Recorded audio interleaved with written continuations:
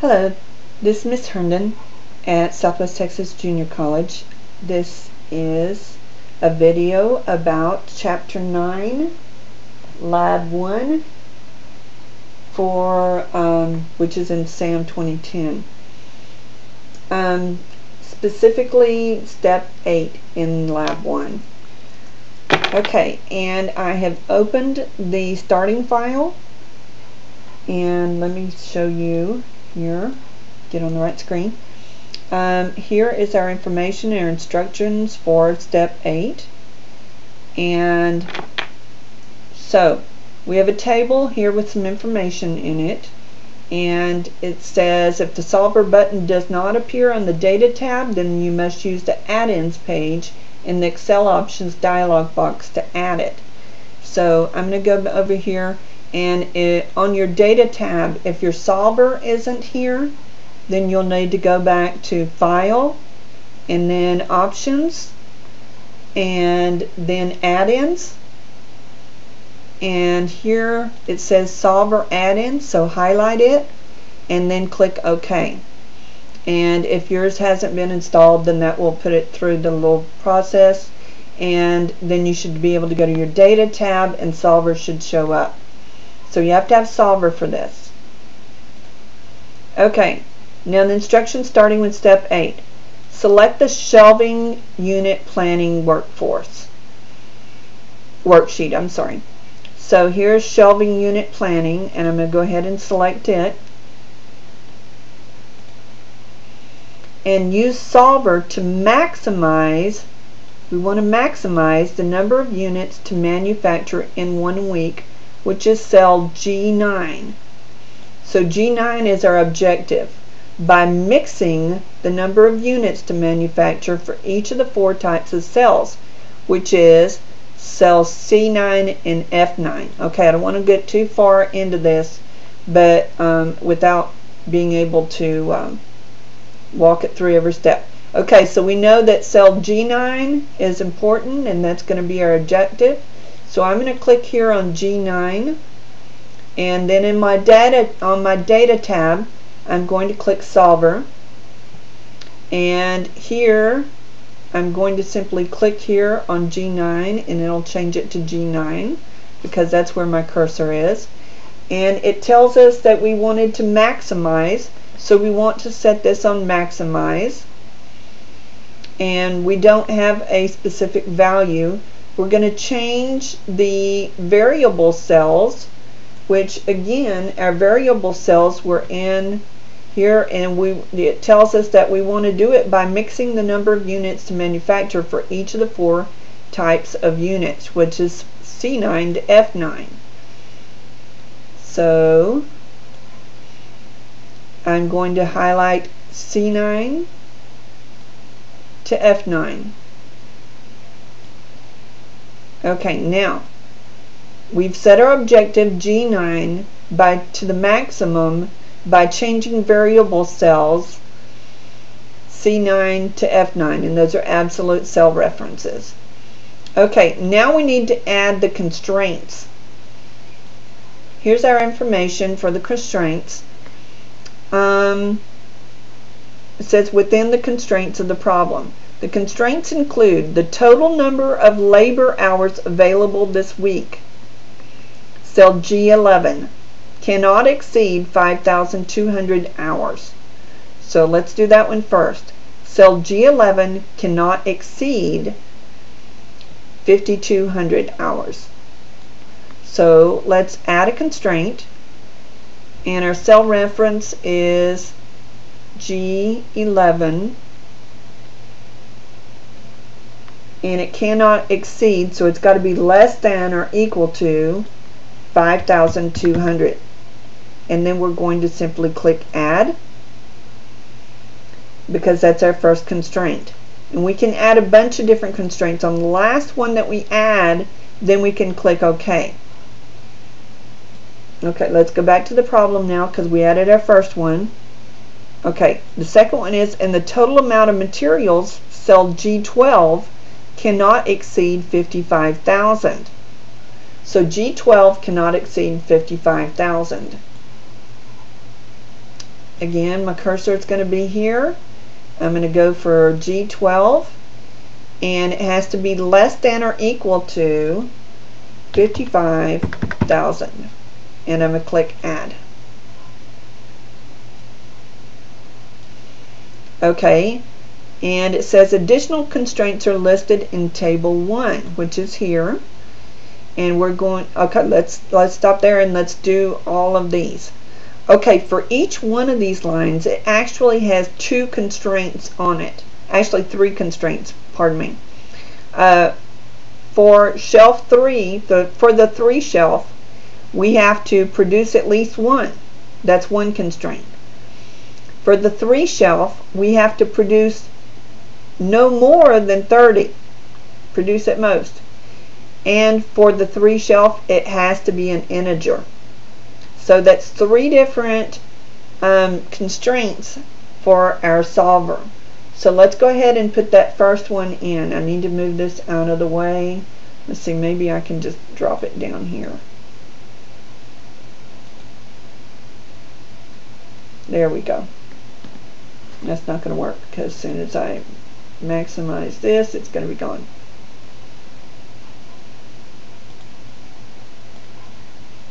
Sorry. Okay so uh, let's see. The three shelf. Okay so for three shelf I'm going to click here and then the three shelf is right here the units to manufacture is C9 and we have to produce at least so it has to be greater than or equal to 1 and I'm going to click add. Again the three shelf units to manufacture have to produce at most 30 so it has to be less than or equal to 30 okay and again the three shelf units to manufacture have to be an integer. Click.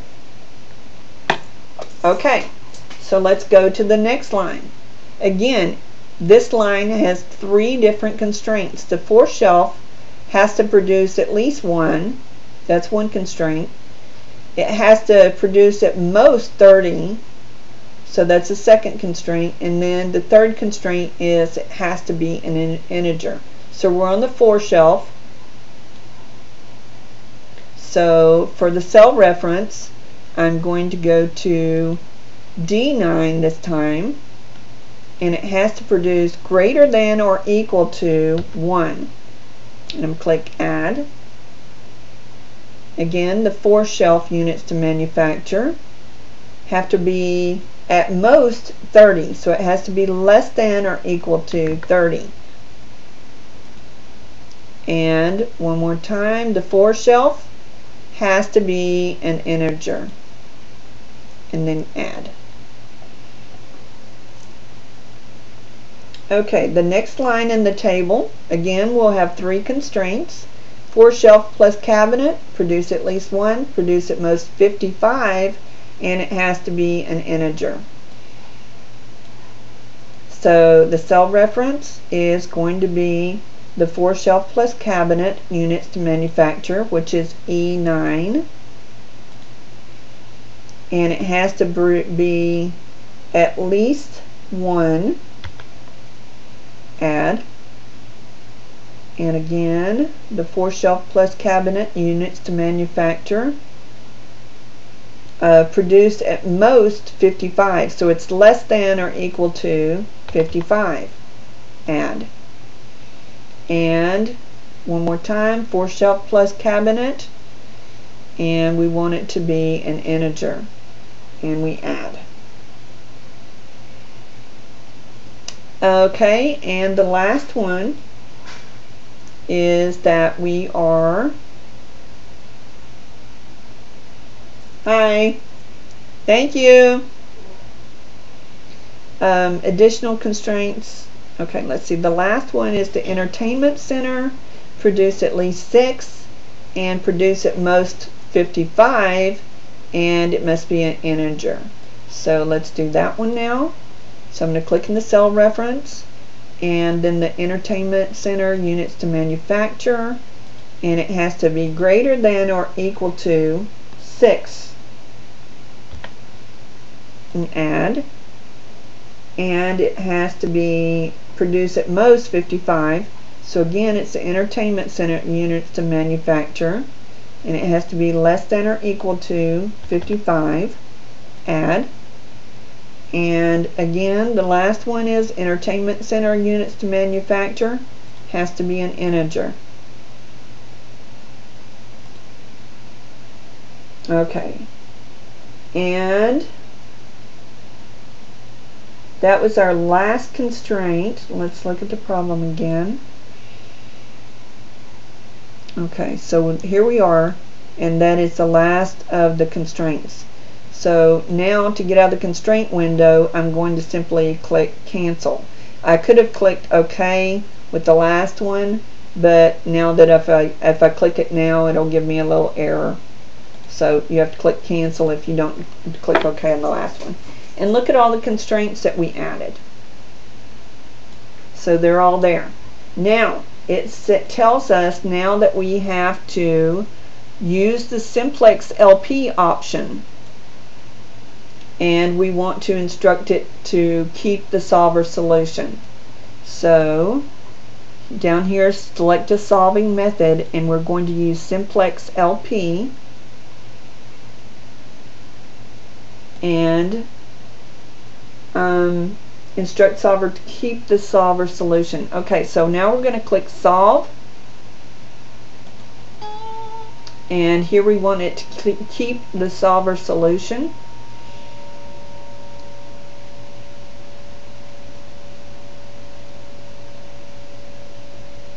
Okay, so we're going to click OK. Sorry, I was reading again. And here is our information. So it maximized the most number of units that we can produce using the constraints given for each of these um, items that we're producing. So um, the entertainment center eh, we have to produce at least six and that's what we were able to produce only six. But the other ones maximized out so that was good. Okay total hours for the week all of that changed according to this information. And the total value of the materials also changed. Now, um, it says keep the keep the save the solver model as follows with the solver, solver parameter windows open. Press the load save button and specify cell G16 as the range of cell range cell and press save and the solver model data will be saved in a column of data starting at G16. Okay, so we're going to go back to the solver and right here where it says load save and we're going to specify cell G16 which is here and we're going to press save.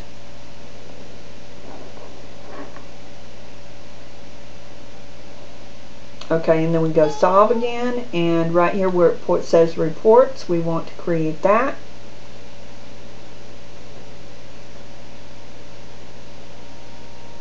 And there we go. Here's our answer report that's been created. We can see this here. And over here all of the data has been filled in here that was um, specific to this particular solver model.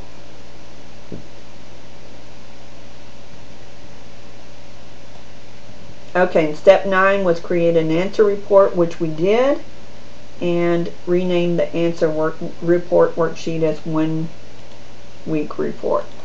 So we can rename it.